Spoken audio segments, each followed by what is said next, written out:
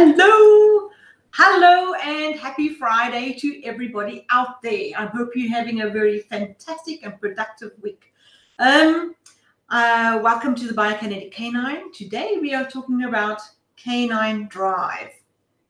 Not quite driving a car, but what is canine drive and do you know the risks of that drive with your dog? It's going to be an interesting uh, topic. Um, but let's get started. I am Angela Ahern. I'm a certified canine athlete specialist and canine myofascial release practitioner. Love my job, by the way. Um, and I'm going to be talking about this canine drive. Just a bit of um, information. If you are any seeing me anywhere besides our page, the Biokinetic K-9, um, and you need to know anything or drop me a question, please pop over to our page and drop it there um, because I may miss out on any comments that you're placing elsewhere and I wouldn't want to miss out on those so I can answer you. So pop onto our Biokinetic K-9 page, um, give us a thumbs up for a like if you like us and share us with somebody you think may benefit from the information. We are here to make everybody better handlers for their dogs. So let's get cracking. Riani, hello. How are you? Thank you for popping by. You got internet today. okay, so let's see. What does it mean when we talk about um, the drive of the dog? What is it?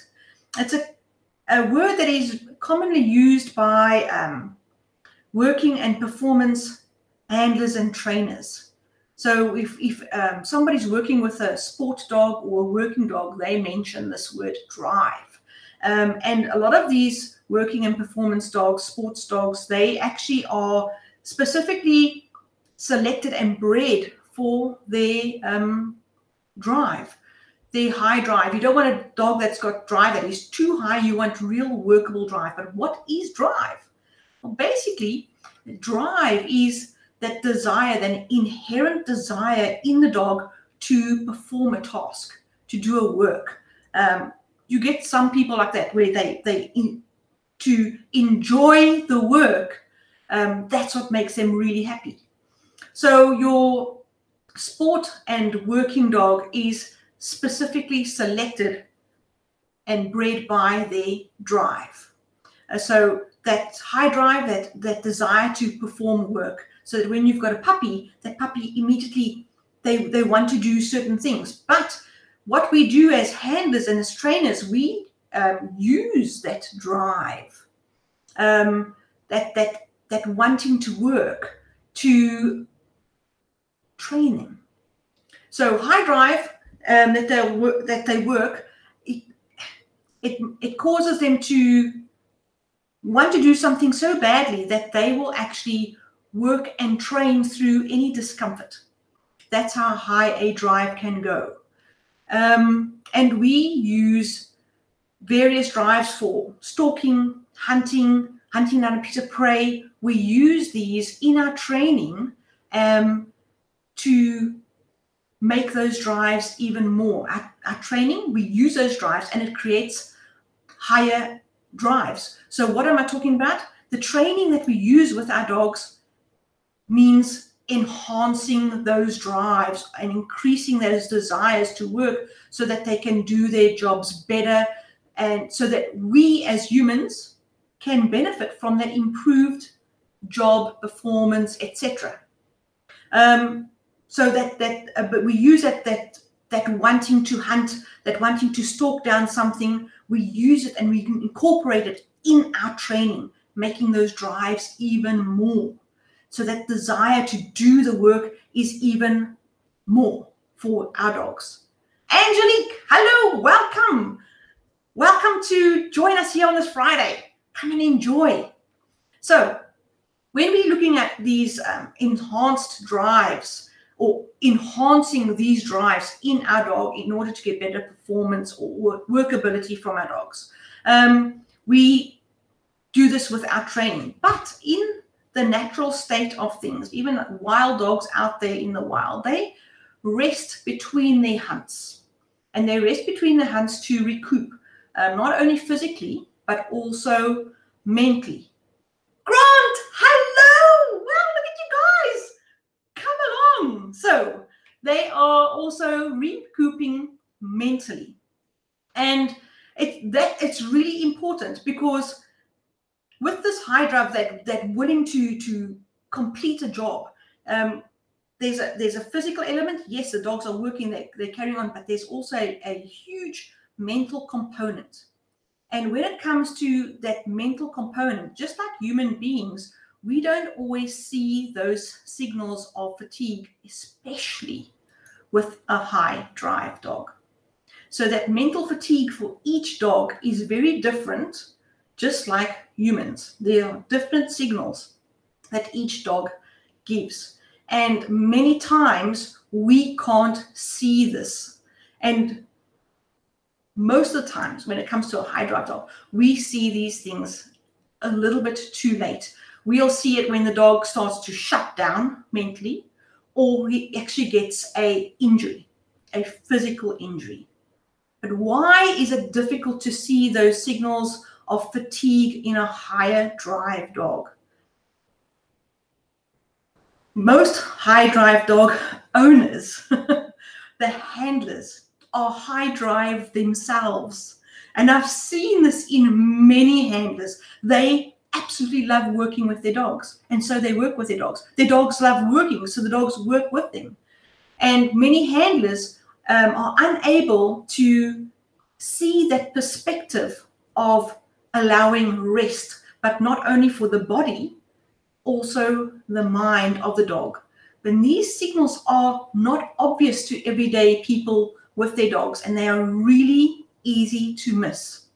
So our high drive handlers need they they do they need the the help and advice on how to recognize mental fatigue in their dogs and even physical fatigue in their dogs because these high drive dogs they don't show these states easily it's really important um, these dogs will work regardless of their physical state. They will carry on working. They have very, very low self preservation. They just, it's almost a small bit of obsessive compulsive. They, in, they love working, just like your high competitive handlers. They are also obsessive compulsive to the small areas of working their dog. And so they don't always see these signs of fatigue mentally and physically in their own dogs. And they need help to recognize these, these signals. The whole thing with high drive dogs is that they will do anything to complete the goal. They, uh, your herding dogs, your hunting dogs, your police dogs, your detection dogs, they are trained, take just for your protection dogs, they are trained to carry on looking for that missing person, for that person that is lying in the rubble that's in distress. They have they carry on. They are trained to carry on. Um, they have to continue until they reach their goal, and that can be oh my word, sometimes hours. And the the mental fatigue, the physical fatigue is huge. But they they their training involves that end goal, that end prize is so valuable that they place that at a higher value than their own physical discomfort. Discomfort. So they will carry on working regardless of an injury. And the result is they, they carry on working through minor injuries, which you know that's the worst kind of injury to have, is those small little injuries because nobody picks them up and we keep on pushing our dogs. And similarly now your high drive dog, they don't show these injuries easily. They don't show pain. So these minor injuries then become a greater injury. And because these dogs naturally their drive hides their pain, your handlers and vets and trainers cannot rely on obvious pain signals from these dogs. So what happens is they will only see the dogs in pain when it is walking on three legs it is actually limping. I actually uh, watched a really interesting podcast with Ivan Balabanov, and he was speaking to a scientist who studies the behavior of animals. And here is somebody a scientist who's not working with high drive working dogs every day. And he went to go visit his friend who has a high drive working dog. The dog's name was Chaser, mainly because this dog loved to chase things. And he could run around chasing things. I think they, I speak under correction now, but I think they channeled his drive into hunting and chasing. And this scientist watched this dog in awe as he would run all day from the morning, and they only finished because the people were actually tired now at approximately two o'clock in the afternoon. It was lunchtime in any case. And at that lunchtime, they called the dog in, and when the dog came to them, he was limping. And the amazement on the scientist's face of like, he says, wow, this dog, he didn't limp throughout the time he was running around. And only when he had to slow down did he show he was actually in pain. And this is the, the, the reaction to most people that are not involved with high drive dogs. They don't understand how a dog doesn't just show pain. Your a, normal companion pet dog will show pain much sooner than a dog that is in drive and he's busy uh, completing a mission. He's got to get to the goal. He's got to get there. It doesn't matter what's happening to his body or what's going around. The, the, the mindset is I must finish the goal. He's been trained to do that. That's how his makeup is. So, but the time is when they are actually limping, a three legged dog, when a dog's walking with one foot not touching the ground, that is a serious injury. It is a real serious injury in a high drive dog. Riani, yes, they hide it so well. They do. Now, Riani owns a high drive dog. Oh my word, this dog can go forever. It's actually is awesome. But when he gets injured, you don't know until there's a limp because he works through it. And oh my word, I'm so proud of her because she was actually training and she saw oh, there's something off with him. And the following day, he was going for his regular um, physio and massage and everything because responsible pet owners and they're working with athletes. She's got the whole plan for a dog. And she was able to mention this to that physio, and they picked up slight tightness in his shoulder and they were able to sort it out that very same day and it was perfectly fine. So, yes, Angelique, you know the dog. He is a perfect example for this. He has serious high drive. Helen, like dancers, they work through. Have you seen some of those people? Their feet bleed and they still dance. It is exactly the same thing. Sports people, they will carry on with the game. It doesn't matter what's happening. Is that they will pull a muscle. I will tra- train through it. My oh my word, my I've got goosebumps. My own uncle, if you can believe this, he was a powerlifter, and he was in a world championship. It was the final. Um, he had to do a deadlift. It was the final one for declaring the winner in this competition. He was in America at the time and he went onto the platform. Now, you know, when you're doing um, competing in uh, power sports like uh, powerlifting, you've got three chances to perform an exercise. So he goes onto the platform to perform this deadlift and he bends down and he lifts the weight. And as he does it, he pulls and tears a hamstring. So he drops the weight gets off the platform, and all he does is he straps his leg. He straps it really tight. And he goes back onto the platform. You've only got, I think, it's a minute or so to get back on to complete the exercise. And he stands in front of the weight with most of his weight bearing on his good leg, and his other leg, it's just for balance. And he picks up the weight. Long story short is he wins. He becomes a world champion. But the the point being is they work through the pain. They will sort out the pain afterwards. In the end, he had a torn hamstring and he had loads of months of rehab and rest, etc., etc. But he worked through the pain, and the same thing happens with the dogs. Now, with Michael, he made his own decisions, etc. But with a dog, we are the carekeepers. We are their advocates. We are the ones responsible for them. We are their team member when we compete. Um, you are the the the partner of your dog. So when they are hiding that, that pain, all just to complete that goal, and they've got that small injury which you don't notice, and then suddenly they've got that big injury because they've hidden that pain so much. What do you do? Their pain threshold is much higher. Top athletes' pain threshold is much higher because they your rugby players, your football players, they're getting bashed all the time. And eventually, yeah, they can take it. It's no problem. To pick up that heavy weight for their powerlifter, it's painful, injury or no injury. It's hard work. And so they got a much higher pain threshold.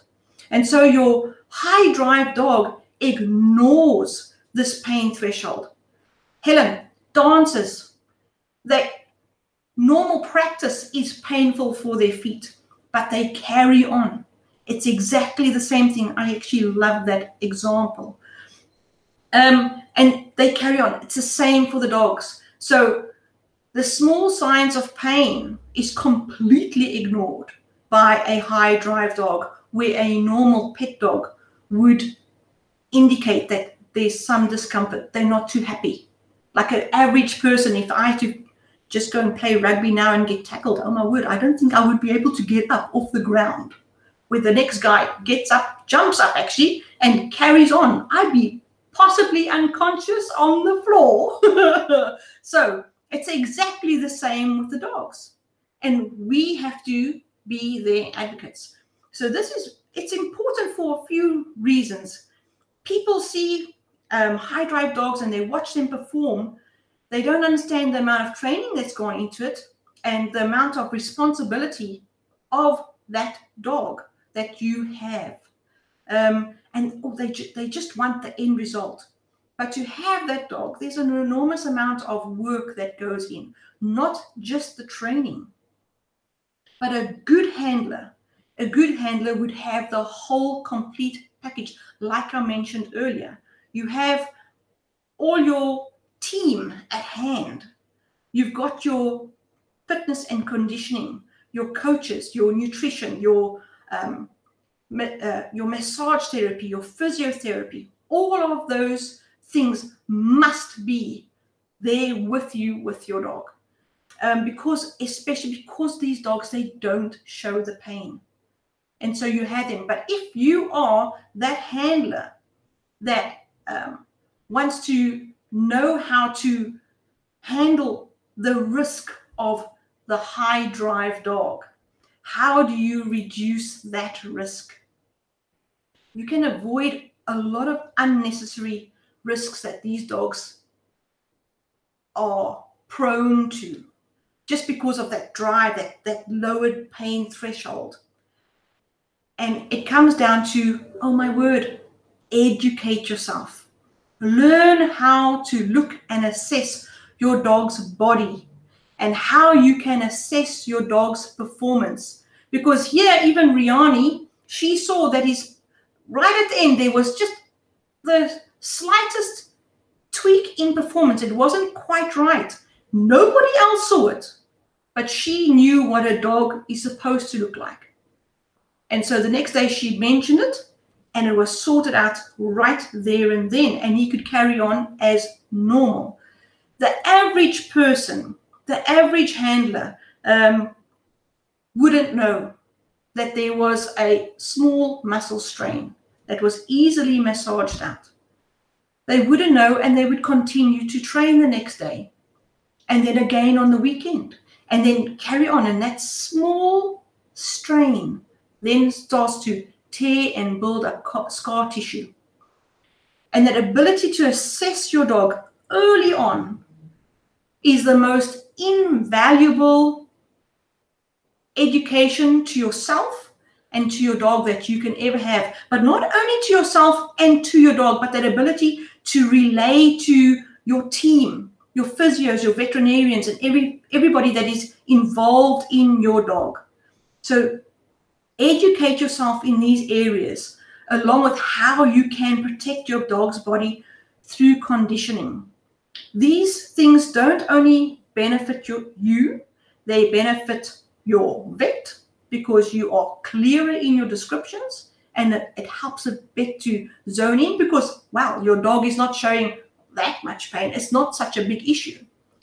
But it really benefits your dog. It benefits your dog in his normal everyday life. It benefits your dog in his career.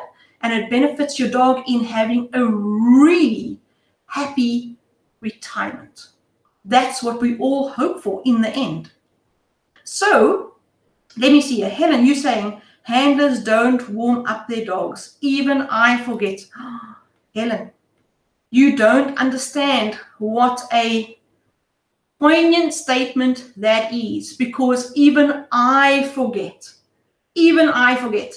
And it is such an important small point for your dog. It is so, so true. That warm up, uh, it's because your dog just carries on and won't show pain. That warm up lowers the risk of, of injury thousands of folds.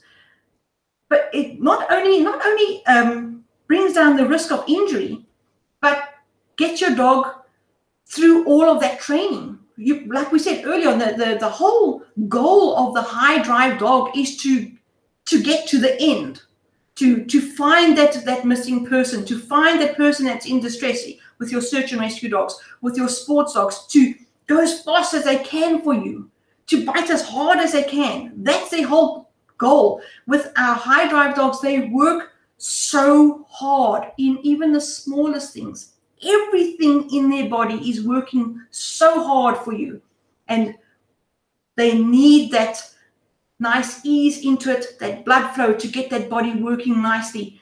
And when we don't do it we put the dog on the field and they are instantly working so hard that they get injured.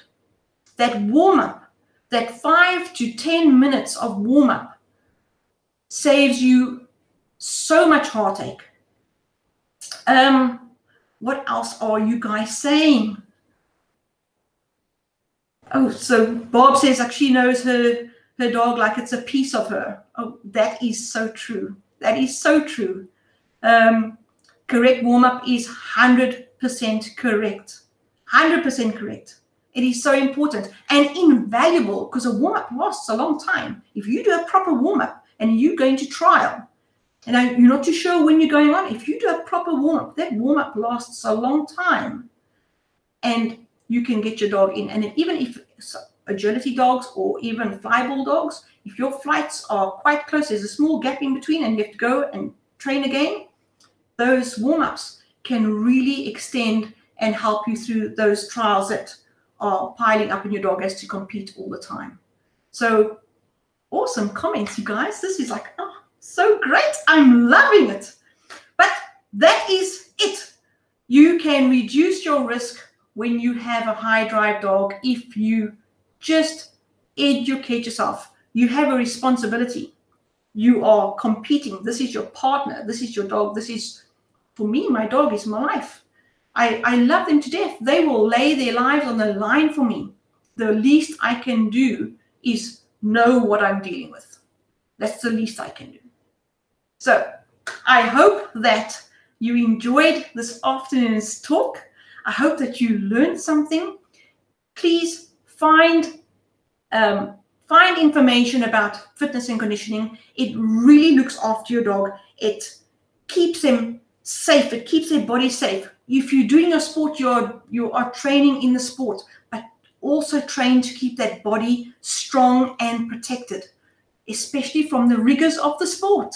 Okay, so if there's any questions, pop them in the comments. If you like today's show, give me a thumbs up. Um, and if you think a friend would benefit from the information and is considering high drive dogs or working with high drive dogs, Share the information with them. If you need any questions, you are most welcome to email me. If you don't want to put something in the comments, just email me at fit at the biokinetic You are most welcome to look at our website at the biokinetic and you can see what we do. We do fitness and conditioning for sport dogs. I um, am particularly fond of our strength training and protection sports. I love it to death. And there you go. Rihanna, you are saying cool downs are just as important. That's true because your high drive dog is running at high temperatures. So you it is very important to get that core temperature down because your core temperature keeps on rising after you train. Okay, so that cool down, yes, it is so important. Helen, you also agreeing. Cool down is not throwing the ball. Thank you. Yes, it's not throwing the ball. What are you doing when you're throwing the ball? You're causing the dog to grab all those muscles and run. Cooling down is not throwing the ball. 100%. And we all do it. But you know better. So cooling down is not throwing the ball. It, your dog has just been training at 100% and now you're throwing the ball. A high drive dog goes at 100% after the ball. You need to bring that 100% down to, hey, let's have a nice time. Let's just go have take a jog, just to bring the heart rate down, just to bring the, the temperature down. That's all that a cool down is to bring that heart rate down, keep the muscles working so that you get rid of the lactic acid and that the dog can go nicely to rest. If you don't do that proper cool down, there's a buildup on the toxins in the muscles and you get sore muscles and cramps, etc. So 100% Helen, 100%. You don't want to have 100% of um, muscles working in a cool down. You want the muscles to work and lower the exertion in the muscles from 100% down to 60, 50%. That's what you're looking for. Oh my word, I'm so chuffed at the people that are here. This is, you guys are so clever. I love it. So, I'm going to bid you all a very fantastic weekend. Remember, if you like us, let me know. It's always appreciated. All right, you guys, have a very awesome weekend. I'm going to, of course, put all my information here for you guys to have a look at. Let me go and show my technical prowess. And I'm going to say good afternoon. Oh, maybe take me, me off. Cheers, everybody.